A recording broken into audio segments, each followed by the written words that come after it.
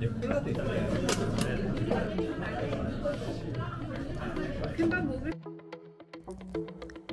日はチョンジュという都市に来ています。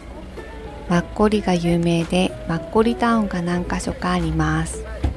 マッコリタウンのお店はマッコリを注文すると大量のおつまみが自動的に出てくる嬉しい独特なシステム。今日はその中でも元祖のこのお店に来ました。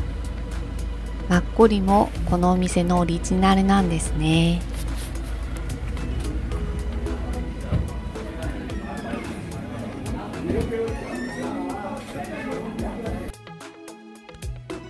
メニューはこんな感じですどのセットもマッコリが2本ついてきますマッコリ追加は5000ウォン焼酎やビールにも変更できますでもここに来たらマッコリを飲まないと。なんかいろいろ出てきました。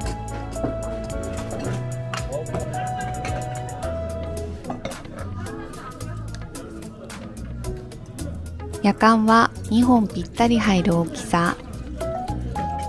マッコリを夜間に移している間にもいろいろなおつまみが運ばれてきます。私たちは子供もいたので家族セットを注文しましためちゃくちゃ量が多いのでカップルセットでも十分だと思ったんですが3人なのに2人用頼むのは申し訳ない気がして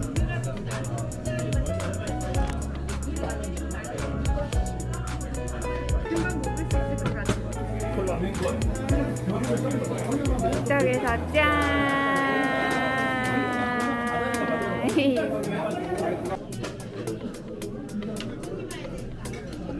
甘すぎずさっぱりしたのど越しそれでは運ばれてきた料理を見ていきますどれも韓国で代表的なおつまみたち 아, 삼계탕.見ているだけで幸せな気持ちになれます。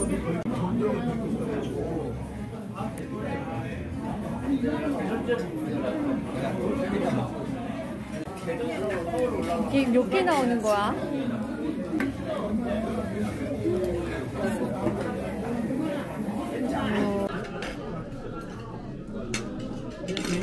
まずはマッコリの最強の友、キムチチヂミ。長ネギとキムチがたっぷり入ったチヂミはこのまんま食べても香ばしい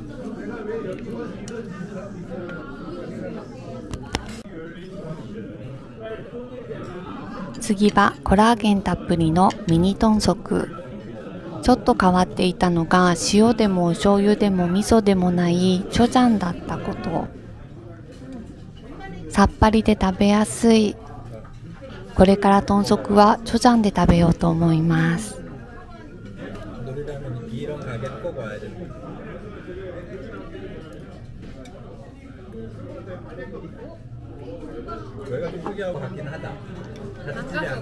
韓国居酒屋の定番メニュー。ムール貝のスープ。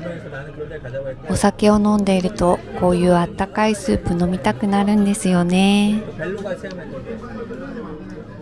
ムール貝のシンプルな旨味と青唐辛子のスパイスが絶妙にマッチしてる。透明スープだけどほんのり辛いです。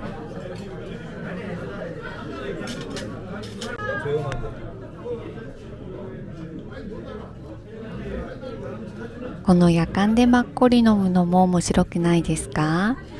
録画し忘れたんですが店員さんを呼ぶベルやナプキン入れも夜間でした。日本の棒餃子を大きくした感じです。この皮がそば粉で作られていて中にキムチや野菜やお肉などが入ってます。これもいいマッコリのつまみなんですよ。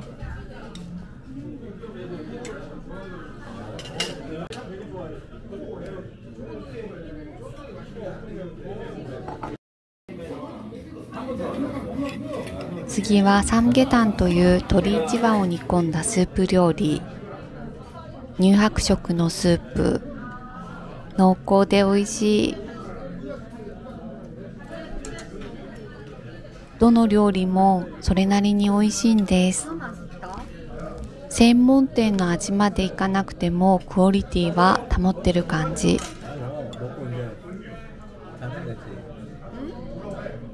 これだけ食べたら栄養満点で肌もよみがえりそうです。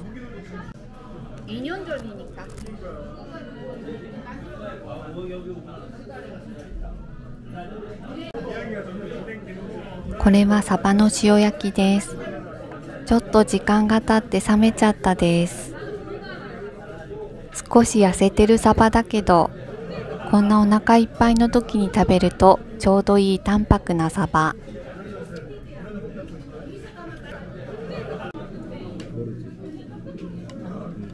発酵が進んだキムチと豚肉を煮込んだもの。ちゃんと煮込んである豚肉は柔らかくキムチとお豆腐と一緒に食べるとめちゃくちゃ美味しいんです。漬物キムチとはまた違う魅力を味わえます。もう結構お腹いっぱいになってきてるんですがまだまだ出てくるんです。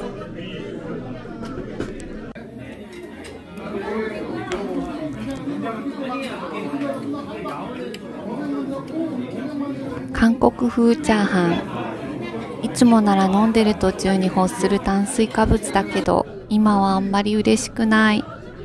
カンチャンケジャンも飾り程度についてます。普段ならこれも美味しく食べれるはずなのに。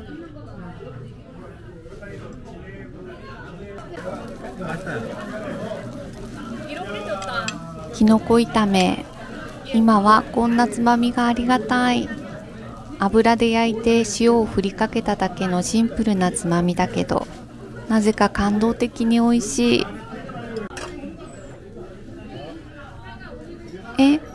だ出てくるの？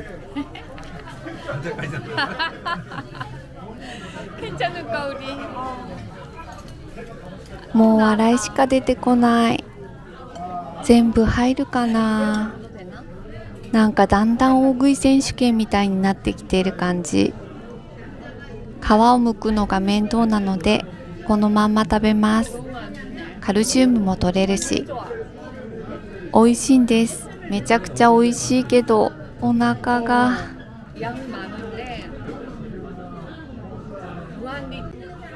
マッコリだけでも結構お腹いっぱいになるのにこの料理たちは最強です。お酒飲みながらなら食べれる。食べれる。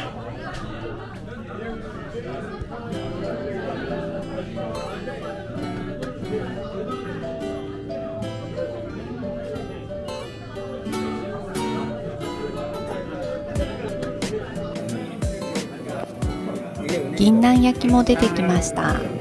私銀杏好きなんですよ。茶蒸しの中の銀杏より焼いた銀杏が好きです。よしこれなら食べれる。いかがでしたか？全部で12種類のおつまみが出てきました。おつまみの量に仰天しませんでしたか？マッコリを楽しむには十分すぎるほどの豪華なおつまみこんなにつまみが出てきてどんだけ飲ませる気だよとか思ったんですが実はここ時間制限があって2時間しか利用できないんです。こんだけつまみがあったら明日まで入れると思ったのに。これがチョンジュ式おつまみというんだそうです。チョンジュのマッコリを飲むと4回酔うと言われています。酒の席の楽しさに酔いさっぱりとしながらも独特な酒の味に酔い心のこもったたくさんのおつまみに酔い料金の安さと人情に酔う。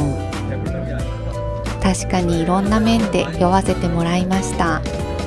本当に楽しくって幸せ感じました。ここチョンジュはソウルからちょっと遠くて車で3時間から4時間くらい。高速鉄道 KTX で約2時間半くらいかかります。食べ物も美味しいしとっても魅力ある都市でした。今度また別の動画で紹介したいと思います。